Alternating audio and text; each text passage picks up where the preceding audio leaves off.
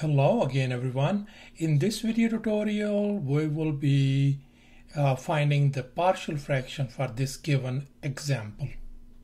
Uh, next step is to make sure that uh, the degree in the numerator is indeed less than the degree in the denominator. Now let's focus on the denominator, this part. Okay, I want you to, we're going to factor this one out that can be easily factored. We will be using this fact. So this is the difference of two squares. We will be using this formula. So let's go ahead and put it down this x power 4 minus 16 right up here. Let's manipulate this thing a little bit. I'm going to put down x power 2 and then power 2 and then 4 power 2 that's same as 16. Now I want you to make sure that it x power 2 could be treated as like an a and 4 is like a b then this whole thing could be written as x square minus 4 times x square plus 4 isn't it? That's nice. Now I want you to look at this box over here. Isn't it this this could uh, further be uh, be factorized so the possible factor is going to be for that one is going to be x square minus 4 could be written as x square minus 2 square which is same as x minus 2 times x plus 2. So I want you to just put it down over here x minus 2 times x plus 2 times x square plus 4 piece of cake. Thus, our rational expression can be rewritten as the factors at the bottom like this thing. Let's go ahead and set it up for partial fraction. So at the bottom, just make sure that there are two linear factors and this is a quadratic factor.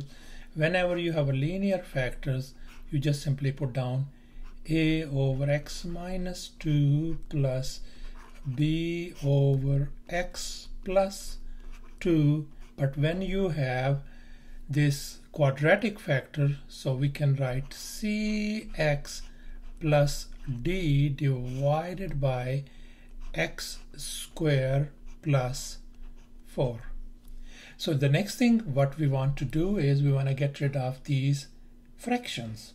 So in order to get rid of fractions we're going to multiply by this part whatever over here across the board. We're going to multiply. So let's go ahead and multiply x minus 2 times x plus 2 times x square plus 4. We're going to do the same thing for this one as well.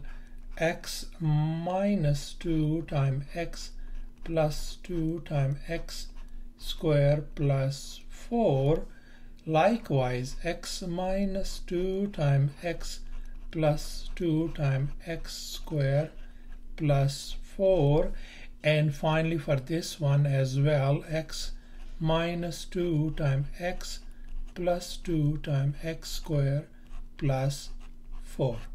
Now you can see one thing. This thing cancel with this one, this cancel with this one, this is done with this one. Likewise, this is cancelled with this one. This is gone with this one. This is gone with this one. And we ended up with x power 3 plus 3x square minus 12x plus 36 is equal to on the right hand side a times x plus 2 times x square plus 4 plus b times x minus 2 times x square plus 4 and finally cx plus d times simply x minus 2 times x plus 2 And we want to call this whole long equation as our equation number one. Just keep in your mind. So the next step is we want to find the value of A, B, C, and D. And for that one, we will be using a really simple kind of trick. Here's the simple trick. Whatever you have, the linear factors x minus 2 and x plus 2, I separately set them equal to 0 and then x turns out to be equal to 2 and negative 2. This is what is going to help us. So I'm going to say at x equal to 2 first, like from here, plug it in in this our equation number 1. So once you plug it in, what's going to happen? So that's going to become 2 power 3 plus 3 uh, 2 power 2 minus 12 times 2 plus 36 equal to a times 2 plus 2 times 2 square plus 4 and when you look at b part over here you see 2 minus 2 that's going to give you 0 so we know whole thing is going to become 0. And likewise in this next term, 2 minus 2 is going to be 0. So that means I can write b times 0 plus cx plus d times 0. So once you simplify that thing on the left hand side, this turns out to be 32 equals to 32a and this is 0 and 0 don't worry about that thing. So a turns out to be equal to 1 likewise at x equals to negative 2 as you can see from here we're gonna plug it in our values in our equation number 1 after plugging in x equal to negative 2 we got this whole thing. And just once again make sure that in our equation number one a see right now negative 2 plus 2 is 0 so no wonder I put down 0 over here. And likewise negative 2 plus 2 is 0 so if we simplify this thing that's gonna give you how much? On the left hand side is gonna be a 64 equal to negative 32b which tells us that b equal to simply negative 2. Now we need to find c and d and the only possible way to find c and d is to use this method that is called equate the coefficients so you're gonna watch and see how I'm going to do that one. So the very first thing what I'm going to do is on the right hand side, I want you to multiply these polynomials. When you multiply these one, what you're going to get?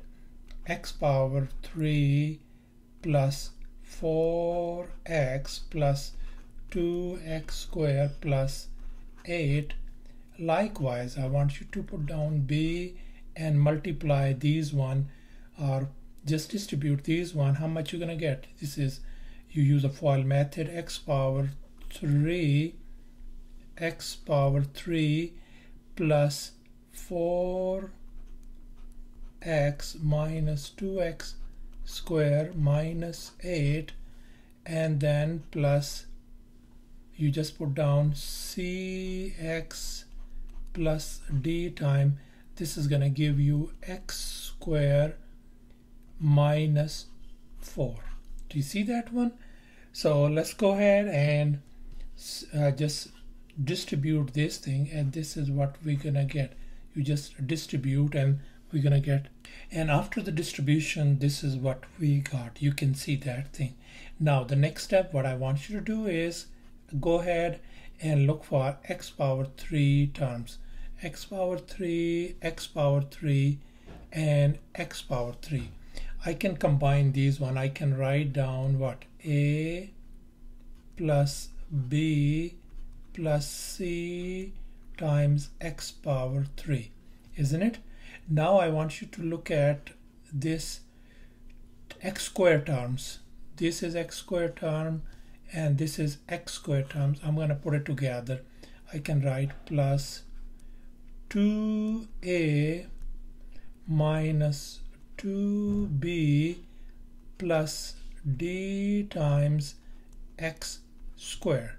Now I want you to look at x term which is this x term and we have a, this x term and this x term. I'm going to write down as plus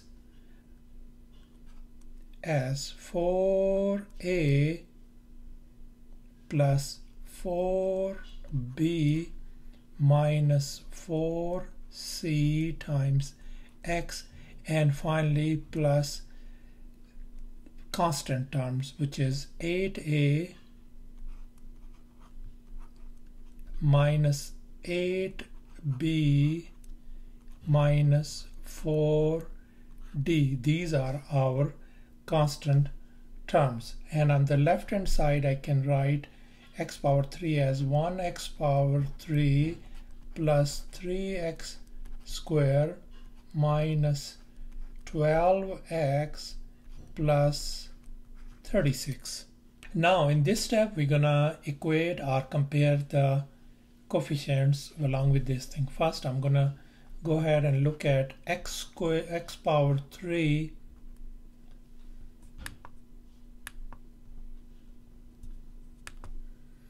x power 3 terms look at x power 3 term what's going to give you on the left hand side.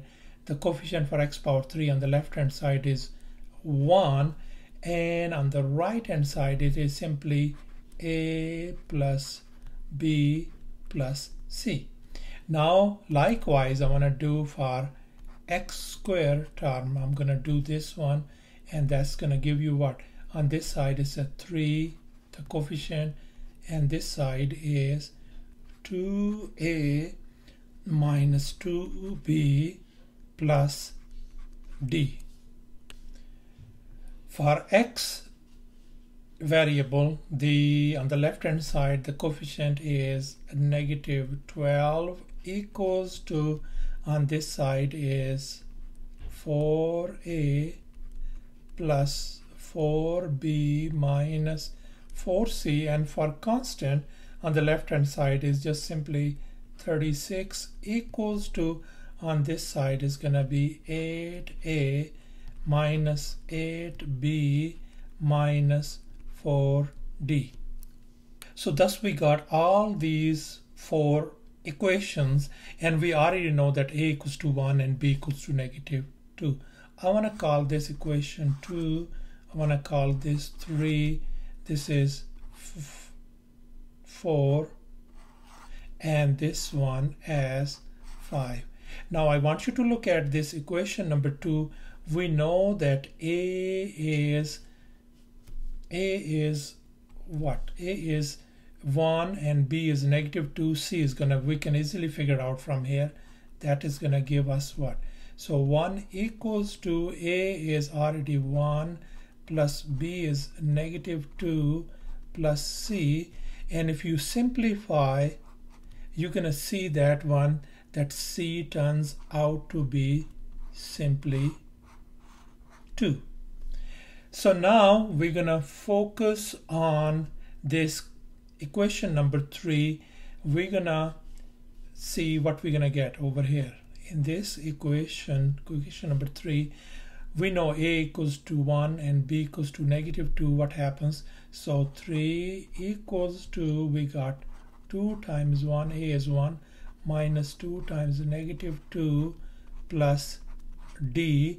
When you simplify this thing and that's gonna give you d equals to a negative 3 thus in our this final step we got a equals to 1 b equals to negative 2 c equals to 2 and d equal to negative 3 we're going to plug it in where a equals we're going to replace it by 1 b we're going to replace it by negative 2 c we're going to replace it by 2 and d we're going to replace it by negative 3 so that is simply is going to give us 1 over x minus 2 plus negative 2 over x plus 2 plus 2x minus 3 over x squared plus 4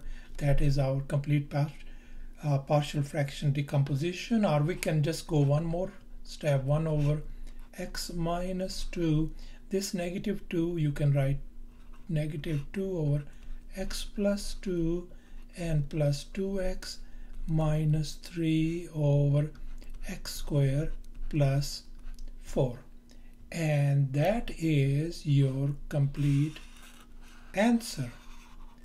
Thanks for watching and please subscribe to my channel for more exciting videos